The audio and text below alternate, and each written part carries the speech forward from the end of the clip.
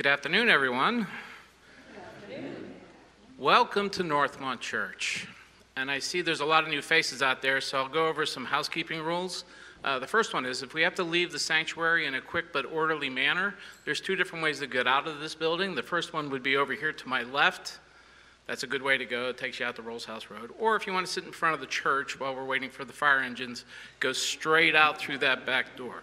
Now, if your emergency is uh, more of a personal matter, the restrooms are to the back and down the right-hand side toward our education wing. You'll see a couple of water fountains, it's down the steps.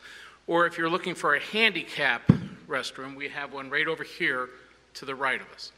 Any other kind of emergencies, feel free to ask our uh, ushers. Hopefully, they know what they're doing.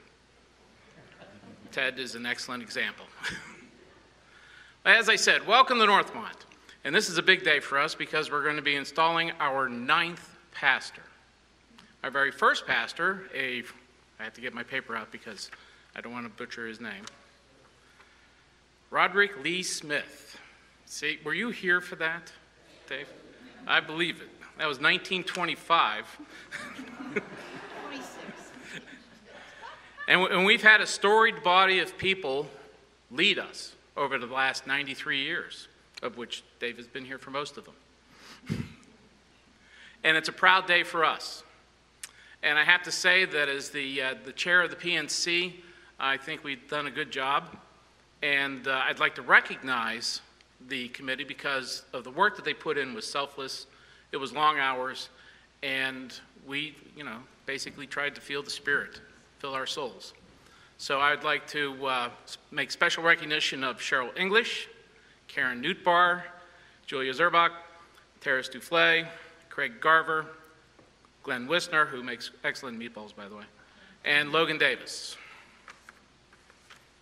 So, like I said, this is a big day for us, and uh, I'm looking forward to uh, the next, oh, I don't know, say 20 years of service with uh, Reverend Ben. And so let's go ahead and get started with the worship. Blessed are you, O Lord. Teach us your ways.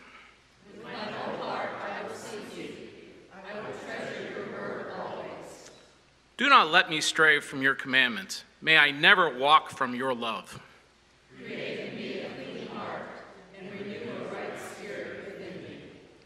Restore unto me the joy of your salvation.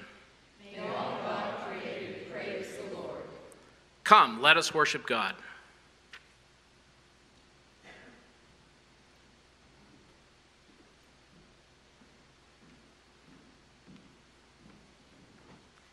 Friends, will you please rise in body or in spirit for the call to confession? We are a great cloud of witnesses lifting each other up when we fall. We praise together and we pray together for ourselves and for each other. Let us go before God, giving over what would otherwise lead us astray. Let us pray now together and then silently. Holy and merciful God, it is not enough for us to know your ways, but we must live them. You call us to love in extraordinary and astonishing ways. But when we fall short, when we abuse or ignore your word, we call on you again. Write your statutes on our hearts, that we might be the people of your promise. Restore us and renew us, that justice may again roll down. May we live your truth now and always. This we ask in Christ's name. Amen. Please enter into a moment of silent confession.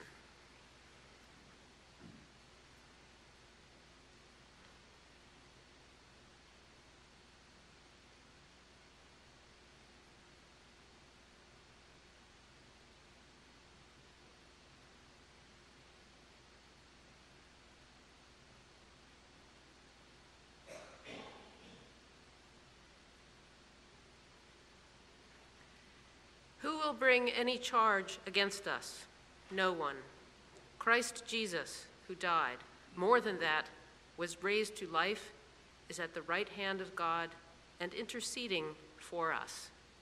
For I am convinced that neither life nor death, neither angels nor demons, neither the present nor the future, nor any powers, neither height nor depth, nor anything else in all creation will be able to separate us from the love of God that is in Christ Jesus our Lord. Amen.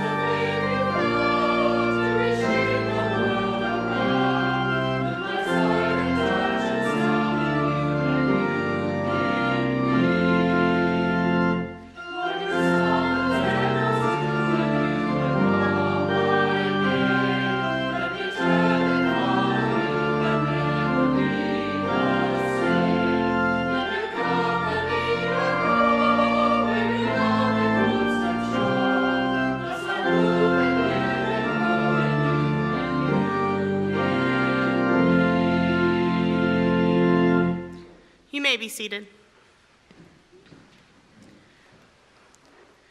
And now let us pray. Holy God, living word, by the prompting of your Spirit, may we be inspired by these texts and moved to action and deep faith as we hear your good news proclaimed. Give us insight, grant us wisdom and discernment, and open us to imagine new ways to work together for your kingdom. This we ask in Christ's name. Amen.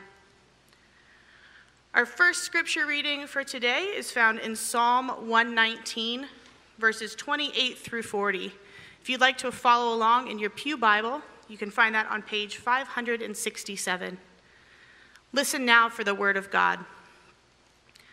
My soul melts, for so- melts away for sorrow.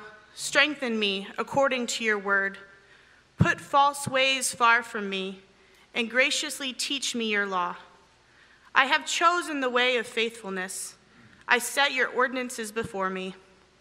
I cling to your decrees, O Lord. Let me not be put to shame. I run the way of your commandments, for you enlarge my understanding.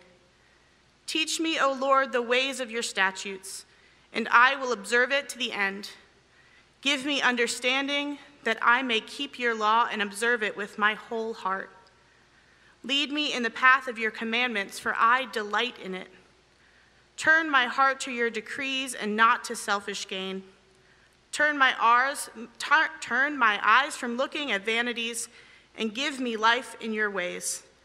Confirm to your servant your promise, which is for those who fear you. Turn away the disgrace that I dread, for your ordinances are good. See, I have longed for your precepts, and in your righteousness give me life. This is the word of God for the people of God. Thanks be to God.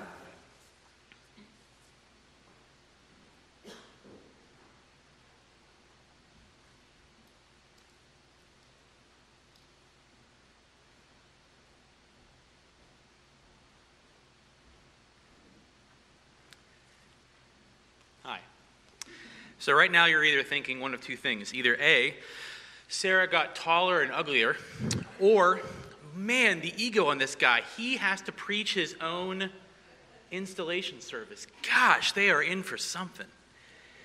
In reality, of course, uh, Liam uh, has croup, and so it got a little bit worse today, and so uh, and it happened two hours ago that it got a little bit worse, and so Sarah had to call me and say, um, "I think you're going to have to preach."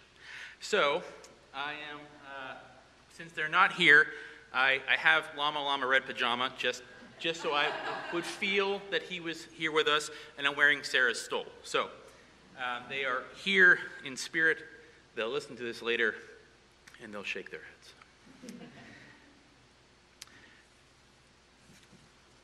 Our second piece of scripture comes to us from Jeremiah 31, this beginning in the 31st verse.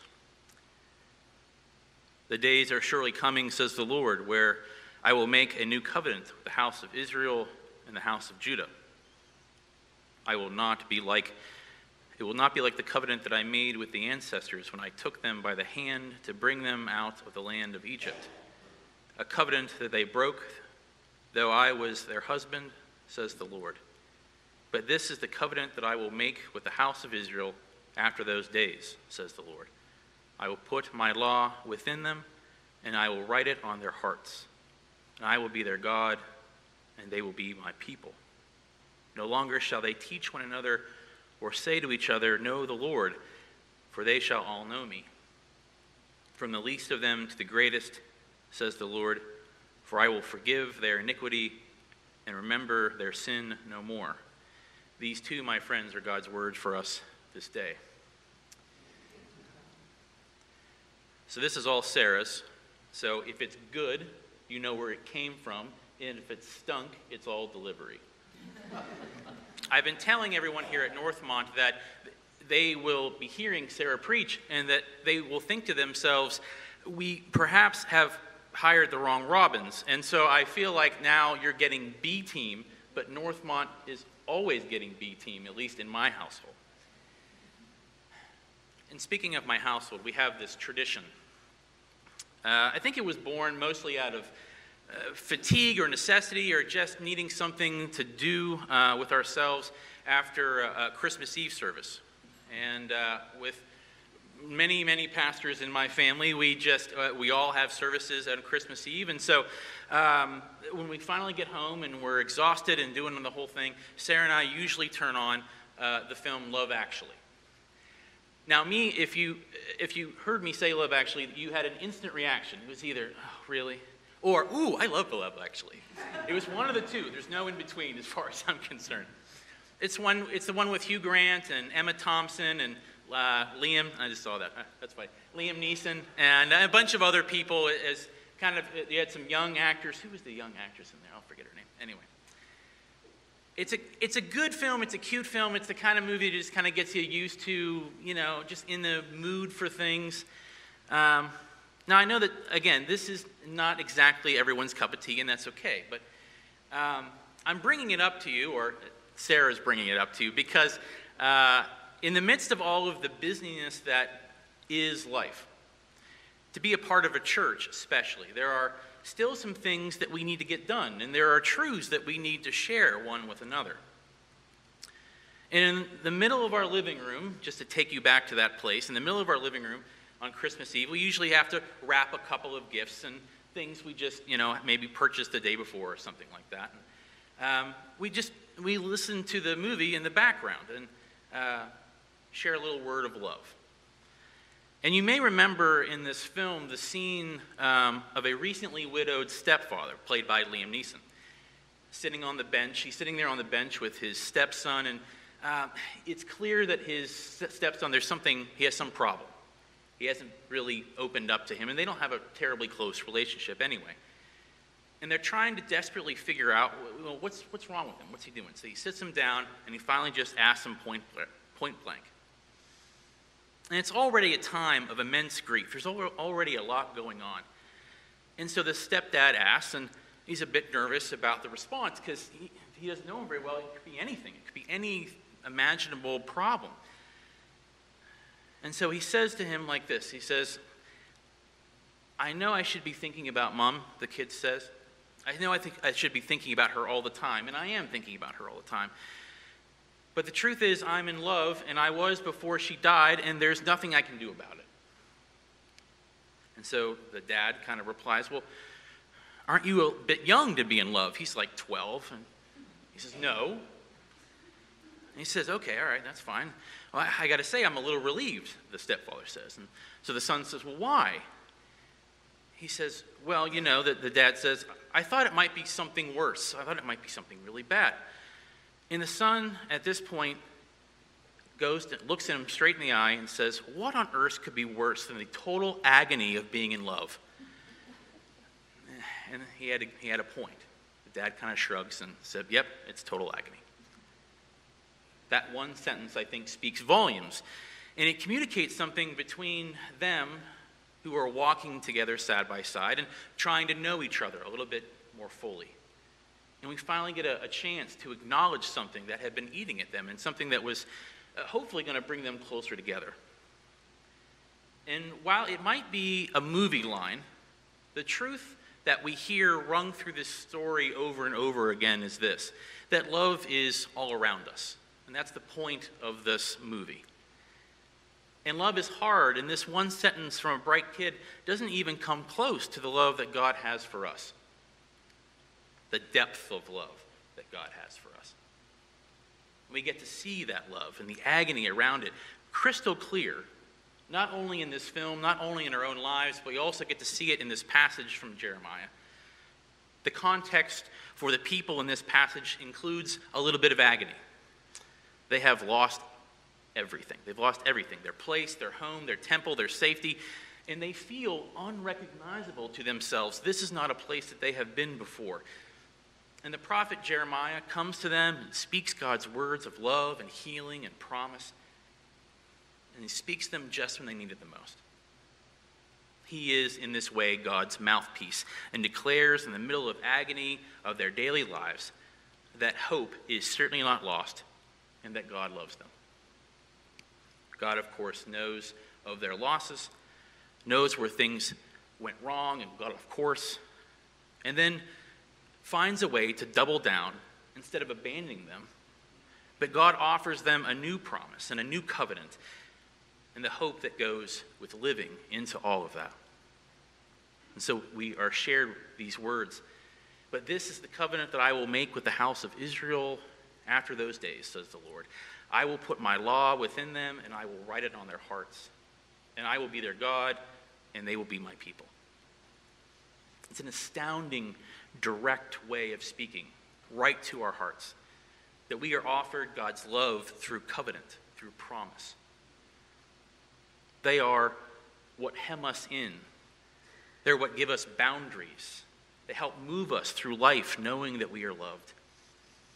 And God has etched those things into us through law, through covenant, through word, the essence of knowing our Creator right there in front of us.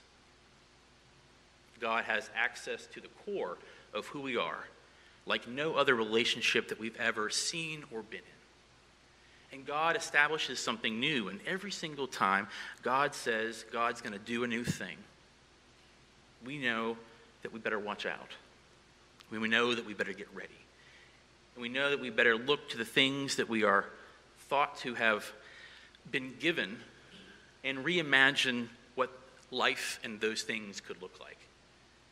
Because otherwise, we are going to be gone. We are going to be lost forever. We will not be able to have any of those things again, those things that we dreamed of, but also the things that make us who we have been and who we are. For the people of Jeremiah's time, this was very good news to hear. This news that would allow them, even as everything else in their life had changed, it allowed them to remember that God could and will forgive, and that God can and will stay with them, that God can and will push them forward into freedom and mercy. But it's not enough for people of Israel and Judah to know that they are tied to God once more. It's not enough for you and for me to be tied together as a church through promises and vows that I'll make here today. We'll make those things out of a joint love for God, but they are just the beginning of something. Because a covenant with God compels us to act and to follow. It shoves, off, shoves us off our comfy couches, out of our boring committee meetings, out of the fog of complacency in church and routine, and it says to us, because of the safety and forgiveness God has offered me, God has offered all of us, we are free to start again. We are free to become new. We are free to try and to fail and to stretch and to grow, and all of those things are what make up this new covenant. In this season of Lent, we are asked to pause long enough and to look inside of ourselves, to look beneath the surface of our economic and political divides, to look hard at what we have allowed to become center stage in our lives in this past year and then we prepare. We prepare for God to do a new thing. We prepare to experience this new covenant in the form and in the person of Jesus. Lent is a time to set aside to consider what we need to do from here, what we need to let go of, because it's not the life that Christ is calling us to. It's time for us to set aside all of those hindrances that we have been holding on to until now. Because it's time for us to act. It's time for us to live by those words in our hearts, to follow the, the direction that Christ is leading this community of faith to go in. And as we go about aligning ourselves in worship, in our education, in our service, and yes, even those budget meetings and everything else in between, we are those who Christ is asking to come. Come with me and follow. Do so knowing that you are all a part of that same covenant together, called by the same God, desiring that the community and grace and joy that we experience here at Northmont is seen and known by those around the world. God never does one thing at a time. So if God has written the law on your hearts to love God and to love neighbor and to love the stranger, what else has God etched into you? What else has God written on your hearts? Because try as I might, after 15 years almost of marriage, I am not a mind reader. Still not a mind reader. I've taken classes, but I can't get there. And it's hard to believe that I can't only if wishing made it so. I cannot tell you what you are thinking right now, what this church is thinking and hoping in its mind about where we should go and the journey that's before us. So consider for a moment what has your prayer life been telling you? What is written on your heart that needs to be uncovered? What does your pastor need to know about where God is calling this church to next? And as you ponder that thing, grab that little bag that you were given when you came in. Get a little bag? Some of you have a little bag. Sarah prepared each and every one of those by hand. So we're going to get them out and we're going to use them. so in that bag, there are two hearts and there's one little writing utensil. And one of those hearts is for me, actually, and one of them is for you to take home. But with that utensil, you'll write the same words on each heart. You'll share what it is that you know Northmont is called to do next out of the security and love and forgiveness that God offers. Because we want to know what is etched on your heart our hearts need to follow where God is leading us next. And our covenant with God compels us to keep moving and to keep changing and to keep striving.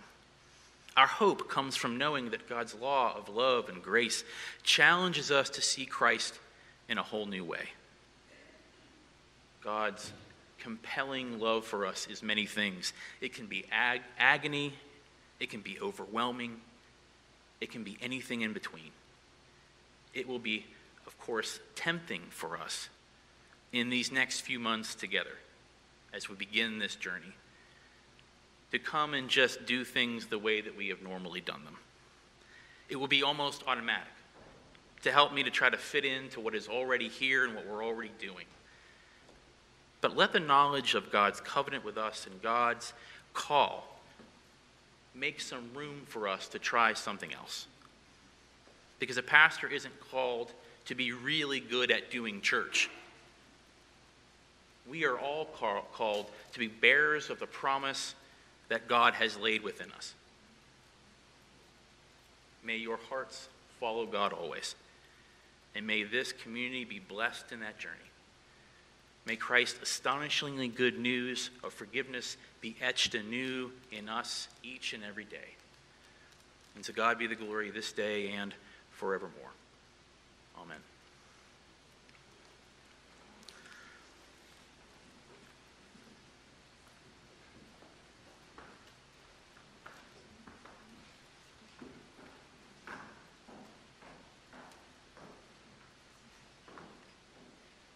Will you please join me in the Apostles' Creed?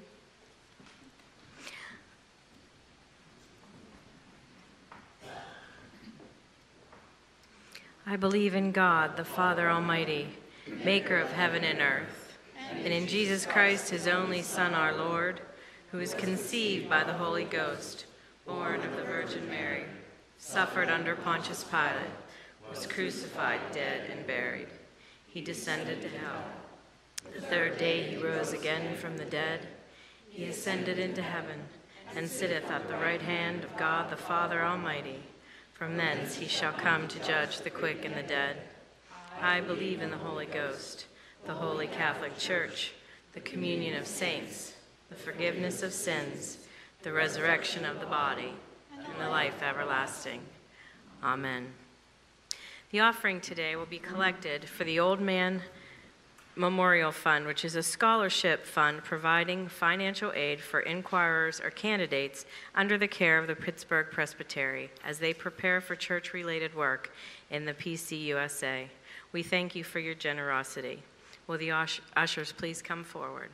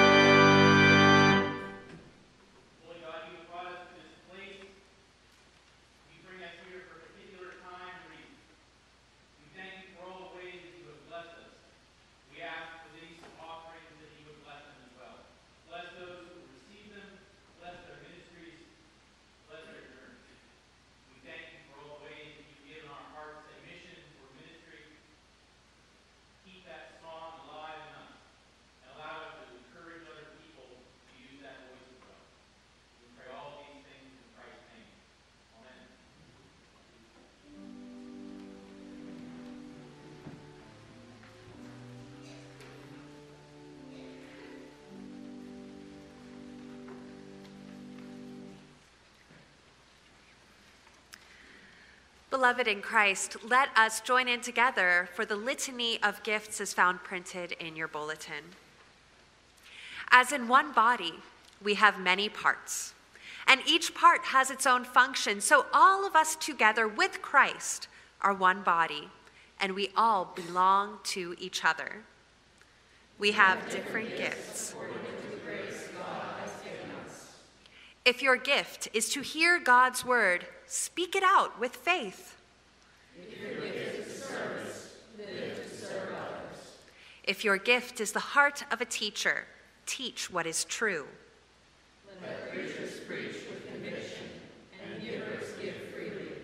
Let officers work diligently for the people, and let those who serve the poor serve gladly.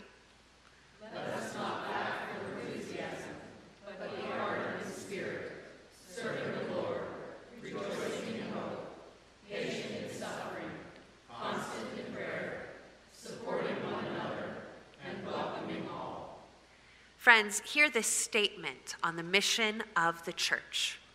We are called by God to be a sign in the world today of the new life that God intends for all. In our life together, we are to display the new reality that sin is forgiven, reconciliation accomplished, and the dividing walls of hostility torn down as the living body of Christ. The church is called to proclaim the good news of salvation, to present the claims of the gospel on people's lives, and to demonstrate Christ's love in service to the world. We are called to undertake this mission even at the risk of life, trusting God in all things. In faith, we embrace a new openness to what God is doing in our time, a renewed obedience to our Lord Jesus Christ, and a new joy in our common worship and work. The ministry of the church is shared by pastor and people so that all together may fulfill the mission to which we are called in Jesus Christ. The particular responsibility of the ministry of the word and sacrament is to build up the church and serve the people of God so that the word may be rightly proclaimed and the sacraments rightly celebrated. The call to this ministry has been extended by the congregation, accepted by your candidate, and approved by the presbytery. Therefore, Pittsburgh Presbytery, by means of its commission, now installs Benjamin Robbins as pastor for Northmont Church. In his baptism, Ben was clothed with Christ. He was ordained to the ministry of word and sacrament and is now called by God through the voice of this church to serve as pastor of this congregation. Ben, I have a few questions for you, and I will give you the answers. Oh, okay. All right. I think I've played this role before, okay? Okay. Ben, do you trust in the Lord Jesus Christ, your Savior? Acknowledge him Lord of all and head of the church. And through him believe in one God, Father, Son, and Holy Spirit. If so, answer, I do. I do. Do you accept the scriptures of the Old and New Testaments to be, by the Holy Spirit, the unique and authoritative witness to Jesus Christ in the Church Universal and God's Word to you? If so, answer, I do. I do. Do you sincerely receive and adopt the essential tenets of the Reformed faith as expressed in the confessions of our church as authentic and reliable expositions of what Scripture leads us to believe and do? And will you be instructed and led by those confessions as you lead the people of God? If so, answer, I do and I will. I do, and I will. Will you fulfill your ministry in obedience to Jesus Christ under the authority of Scripture? And be continually guided by our confessions? If so, answer, I will with God's help. I will with God's help. Will you be governed by our church's polity? And will you abide by its discipline? Will you be a friend among your colleagues in ministry, working with them, subject to the ordering of God's word and spirit? If so, answer, I will with God's help. I will with God's help. Will you, in your own life, seek to follow the Lord Jesus Christ, love your neighbors, and work for the reconciliation of the world? If so, answer, I will with God's help. I will with God's help. Do you promise to further the peace, unity, and purity of the church? If so, answer, I do. I do. Will you pray for and seek to serve the people with energy, intelligence, imagination, and love? If so, answer, I will with God's help. I will with God's help. Will you be a faithful minister of the word and sacrament, proclaiming the good news in word and sacrament, teaching faith and caring for God's people? If so, answer, I will with God's help. I will with God's help. Will you be active in government and discipline, serving in the councils of the church, and in your ministry, will you try to show the love and justice of Jesus Christ? If so, answer, I will with God's help. I will with God's help. All right, at this time, I would invite forward a representative from the congregation, Mr. Pat Kelly, to ask the questions of the congregation. Hi, I'm Pat. Do we, the members of the church, accept Ben as our s- pastor, chosen by God through the voice of this congregation to guide us in the way of Jesus Christ? Do we? We do. Do we agree to pray for him, encourage him to respect his decisions, and to follow the guides us, serving Jesus Christ, who alone is head of the church? Do we? We do. Do we promise to pay him fairly and provide for his welfare as he works amongst us, to stand by him in trouble and to share his joys? Do we? We do. Will we listen to the word he preaches, welcome his pastoral care, and honor his authority as he seeks to honor and obey Jesus Christ our Lord? Do we and will we? We do and we will. We do and we will. Thanks. And now we've reached the time for the prayer of installation. And so, Ben, I would invite you to stand next to me here so that I can reach. And we, I will invite all um, teaching elders, ruling elders, those ordained to come forward for the laying on of hands as we pray for Ben.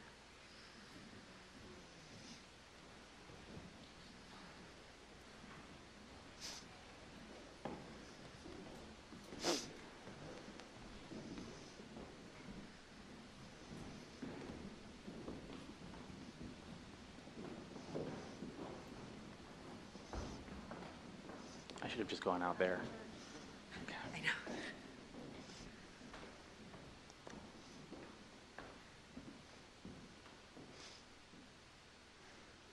Praise be to God. Let us pray. We praise you, gracious Lord, for you alone are God. You have made us, and we are your people, the sheep of your pasture. You have led us to green meadows by cool waters, satisfying our every need with your love. You have shown us paths that are right. Through shadowed valleys of despair, you have been our comfort and our hope. Over long generations, your presence has sustained your people. In your good time, you sent Jesus, your only beloved, to be our shepherd. He knew and loved your own, calling all who would hear to follow him. The Good Shepherd laid down his life for us, risking the cross for the hope of resurrection. By the power of the risen Christ, you gathered the church together to live for you in newness of life, a holy nation, a priestly family, a people chosen as your own and called to proclaim your marvelous love. Gracious God, pour out your Holy Spirit upon us that we may be faithful as your people and fruitful in the ministries you have given us. Grant diligence to those who lead, faith to those who teach, truth to all who speak, compassion to those who heal, wisdom to those who counsel, generosity to those who give, and cheerfulness to all who serve. To your servant, Benjamin, and to all who tend your flock as pastors among your people, give vision and strength, hospitality, humility, and peace. Bless the common ministry of this pastor and the people with joy and power in the gospel. Strengthen us to live out the grace of our baptism and to serve you with the gifts of your Holy Spirit. For the sake of Jesus Christ, our only shepherd and Lord, and all God's people said, Amen. You may be seated, but Ben, you have to stay here.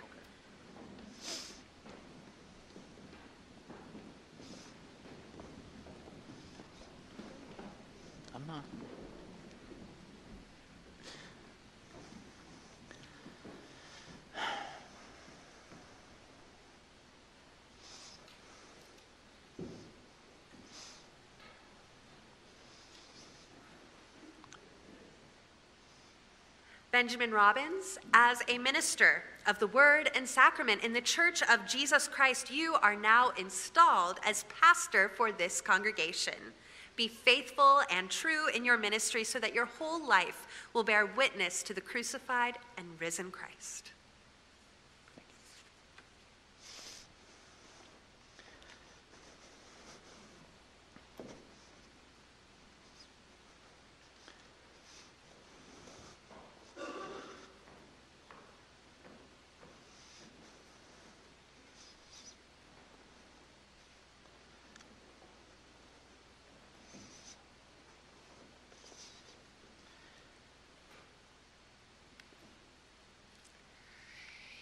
Here is something you've probably never thought about if you're not a pastor.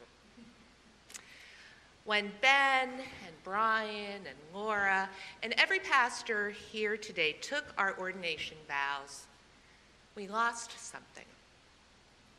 When we became pastors, we lost our pastors.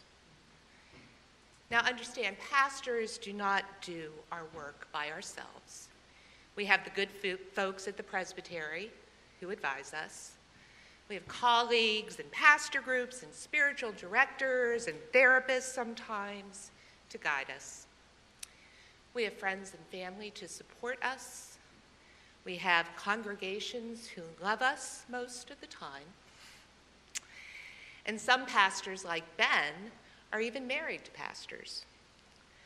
But pastors don't have pastors in the same way the congregations have pastors. Now, I composed this charge in the midst of misery, otherwise known as a terrible, no good, very bad week, just like the Robbins, I think.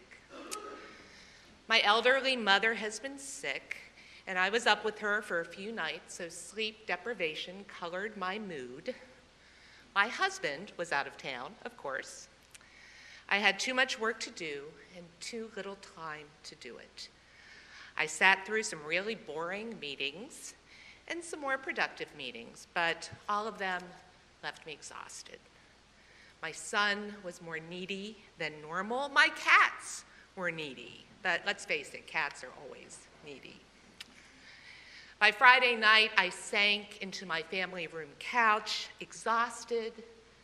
I turned on the TV and I could swear the people on the screen were saying words, but they made no sense. It was like Charlie Brown's teacher womp, womp, womp. And I sat there on the sofa, a lumpy old lump of Susan, and I thought, you know what I need right now more than anything? I need a pastor. Not to tell me what to do, not to cheer me up, not to tell me how I am messing up, not to hold my hand. I needed a pastor to remind me that I am God's beloved child. I need a pastor to invite me back into God's story, which is a much better story than I could ever write for myself. And here's the thing, Ben. If the good people at Northmont Presbyterian Church are anything like me, they are busy. They are frazzled. Sometimes they are moving through life at warp speed, and sometimes they are sitting in traffic on McKnight Road. They are moms and dads in the thick of that impossibly difficult, way beyond wonderful job of raising children. They are dealing with the needs of aging parents, or maybe they have discovered that they are the aging parents. They are young people who measure their worth by their SAT scores and what they see on the screen of their smartphones glowing at the dark at 1 a.m. when they should be sleeping. They are people who long to have a family or are trying to recover from the family they had.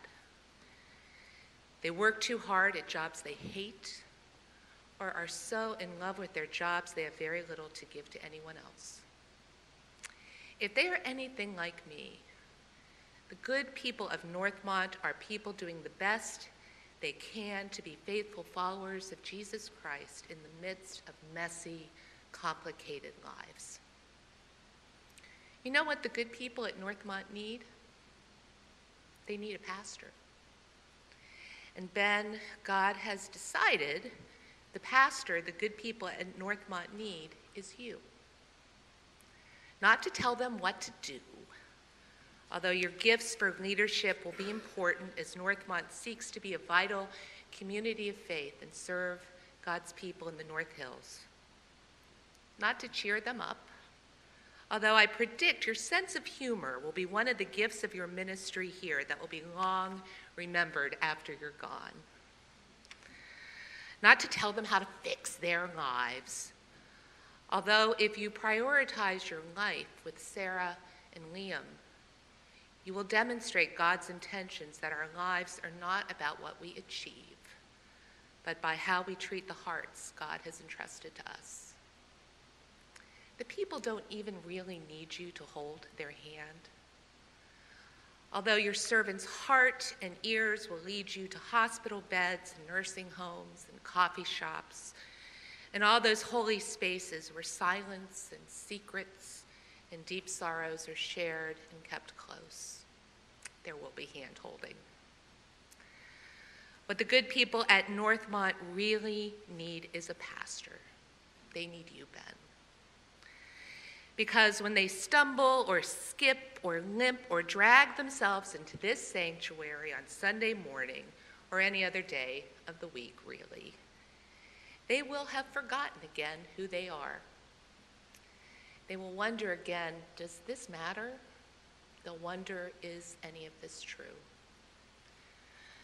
Nadia Bolz Weber says the pastors have pretty good job security because God's people, even the really faithful ones are forgetful. She says that those of us called to be pastors cannot assume that just because people leave on Sunday believing the gospel, they will still believe it a day, a week, or even an hour later.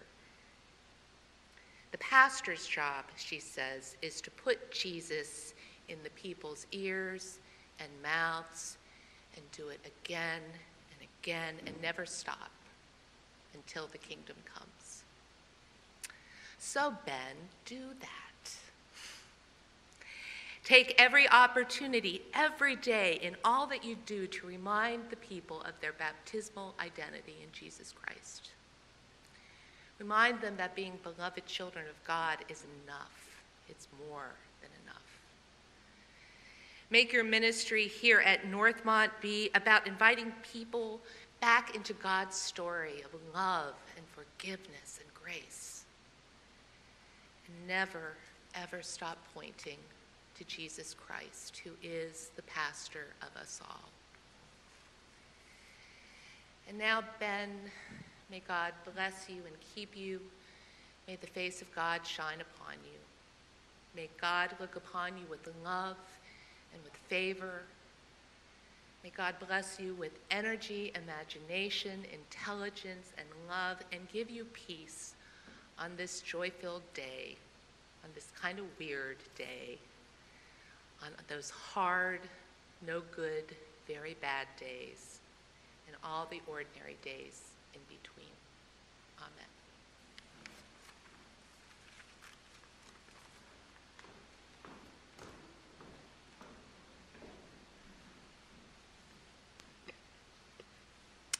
Good afternoon. When Ben sent out the assignments, I was thrilled to be given the charge to the congregation. Because if there's one group of people that I've gotten very comfortable saying hard things to, it is the good people of Northmont. Due to our history of my time here and working th- with you in this last season, I've become very comfortable telling you hard things. And what I realized is that the full charge to the congregation I gave you on February 4th in a 28 minute sermon. and I shared that with my wife. And she laughed and she says, You know darn well that if you go 28 minutes, that you are not going to ever be welcome back there again. so I'm going to go 27. No. My charge for the congregation comes today from the book of Hebrews. Therefore, since we are surrounded by so great a cloud of witnesses, let us lay aside every weight and the sin that clings so closely, and let us run with perseverance the race that is set before us, looking to Jesus, the pioneer and perfecter of our faith, who, for the sake of the joy, of joy that was set before him, endured the cross, disregarding its shame, and has taken his seat at the right hand of the throne of God. Growing up in high school, I ran cross country. And every single time we ran a cross country race, we had to go to the park where it was, and we had to walk the course. Now, every race was the same length. It was 3.1 miles. And you might think, well, it's the same distance, it's the same amount of time. Why do you need to walk the course? Because every cross country course is a little different. There are hills at different spots, there's turns, there's flat spaces, there's wooded spaces, there's places where you can pass, and there's, and there's places that you can't. And it's important to realize as a runner that every single race that you run is going to be a little different. I have run the Pittsburgh Half Marathon three times, and every time I've done it, it's been very different. One year it was 42 degrees, and one year it was 72 degrees. And the way that you run a race when it's 42 and the way that you run a race when it's 72 degrees are very, very different. Now, there is a danger when you get a new pastor to assume that this pastor will be like the last pastors. If you're here on February 4th, this should sound familiar. I'm going to remind you again. I know your last three installed pastors Dr. Stephen Polly, Dr. David Antonson, and Dr. Jack Lola. They were all fine, faithful men who served this congregation faithfully. And Ben Robbins is not any of the three of those men. And the greatest disservice you will do to yourself is to imagine or pretend that he is. He's uniquely gifted in his own ways. He has strengths and talents that none of them have. He has weaknesses where some of them had strengths. He is not any of those three men. And so, my simple charge to you is this You are about to begin a new race. It is an exciting race. Ben is gifted and called and excited to come serve the people of Northmont. My charge to you is simply this this is a new race. This is a new season. You are not the church you were, but is not like any pastor you have ever had before.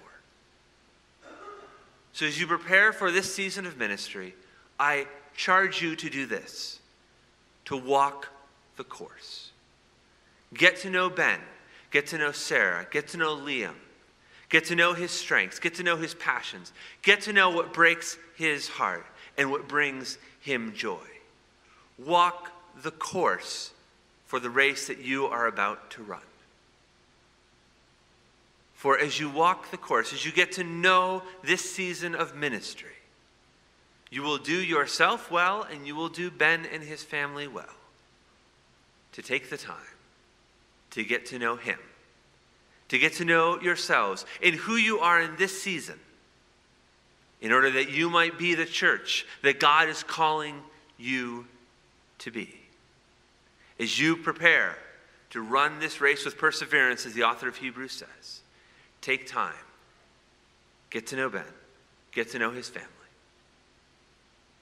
And may the ministry partnership that we celebrate on this day be one that bears fruit for the kingdom from this place to the places where you are now and to the whole world.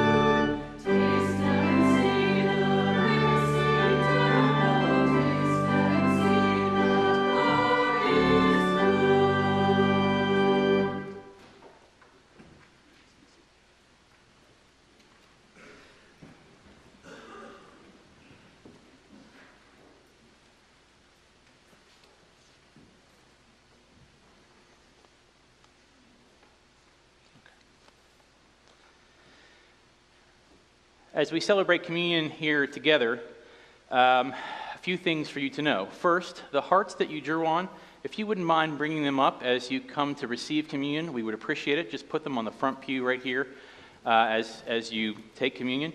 Uh, there will be different stations of individuals for intinction, and so you may come up depending on wherever you are, whatever makes the most sense. And uh, you'll receive the elements here uh, the bread and the cup. And so uh, go ahead and consume them right away, and then return to your seats uh, as you came up. So let us, as we begin, pray the prayer of thanksgiving. The Lord be with you. Lift up your hearts. Let us give thanks to the Lord our God.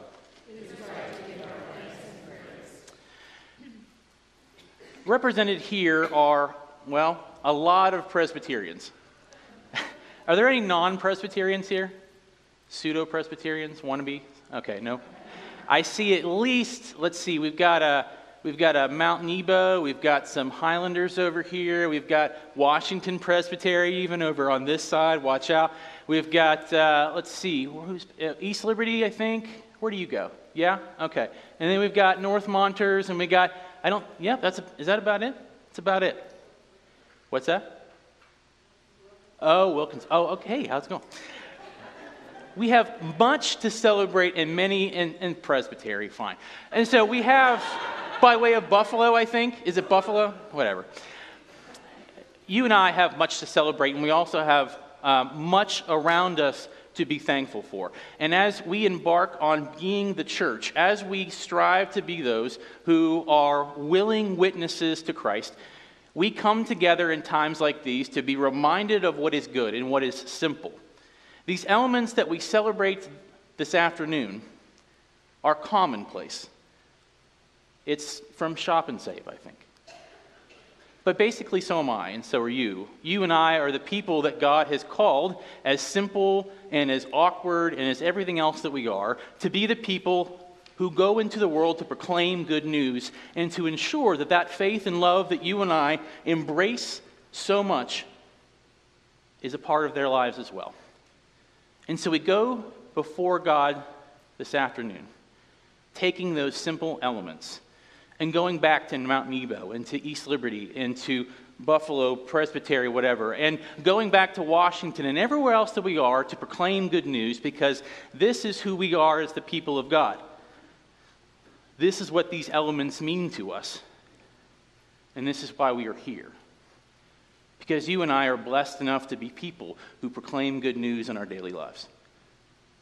And luckily, as we do these things, we have words given to us by the Apostle Paul, who tells us this that on the night of his arrest, our Savior took bread and he blessed it and he broke it and he gave it to his disciples, saying, Take and eat. This is my body broken for you and for you and for you and for you, and do this in remembrance of me. And in the same way, he took the cup, saying, This is the cup of the new covenant, shed in my blood for the forgiveness of sins. All of you do this in remembrance of me. For every time you eat this bread and you drink this cup, you proclaim the Lord's death until he comes. My friends from everywhere, these are the gifts of God for the people of God, and all is ready.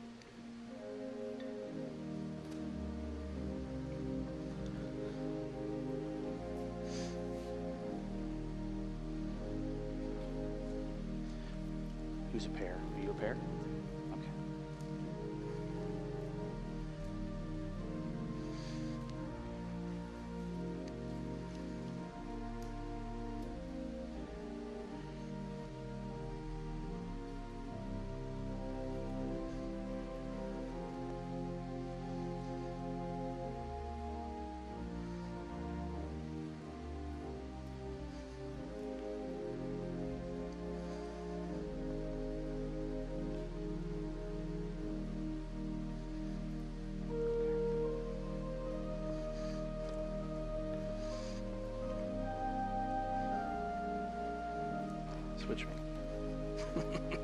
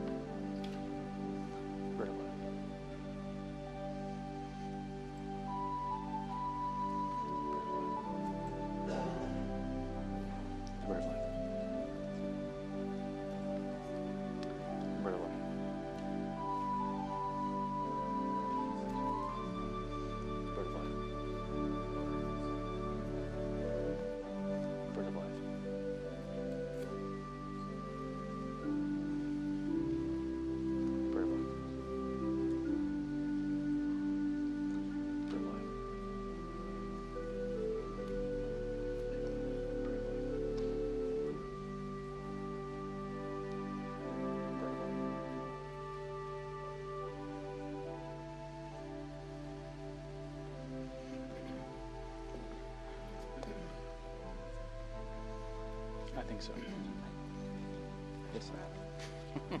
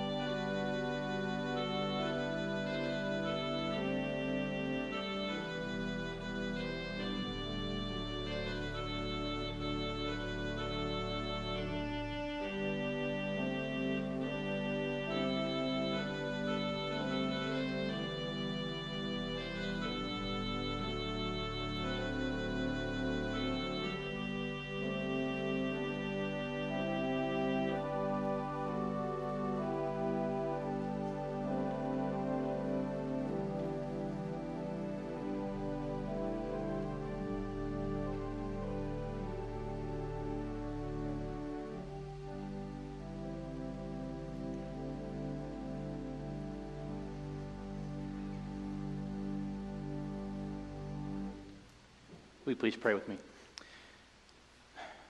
God, it is good for us to be here to commune with you, to commune with our fellow saints, and to be reminded of who we are and whose we are. In this sacrament, we are called to be your disciples. We are reminded of our identity as your beloved. And we are asked to be Christ like for each other, to know you, and to share you with all we meet. We thank you that we can celebrate this and all of the work of the church in one place. We pray that you will send us from here as your people to reflect your light and to be hope for others. We pray now the prayer that you taught us saying Our Father, who art in heaven, hallowed be thy name. Thy kingdom come, thy will be done, on earth as it is in heaven. Give us this day our daily bread, and forgive us our debts as we forgive our debtors. And lead us not into temptation, but deliver us from evil. For thine is the kingdom, the power, and the glory forever. Amen.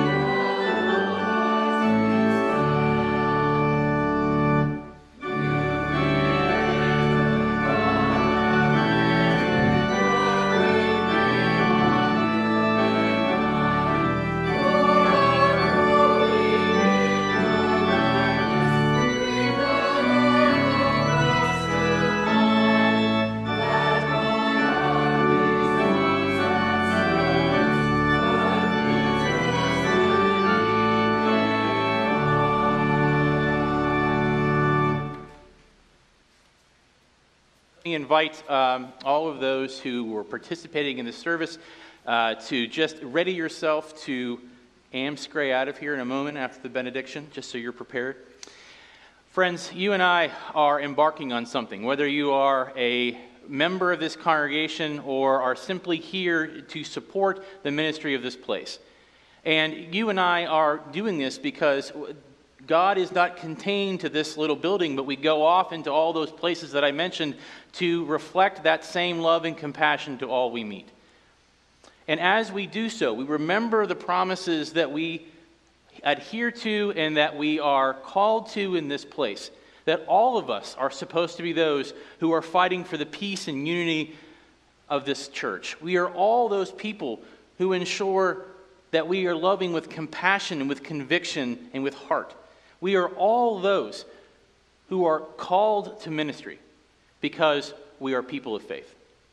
And thankfully, as we embark on this good work, we never do these things alone. But we go forward with the faith and the compassion and the hope of the one who claims us and redeems us and sustains us now and always. Amen.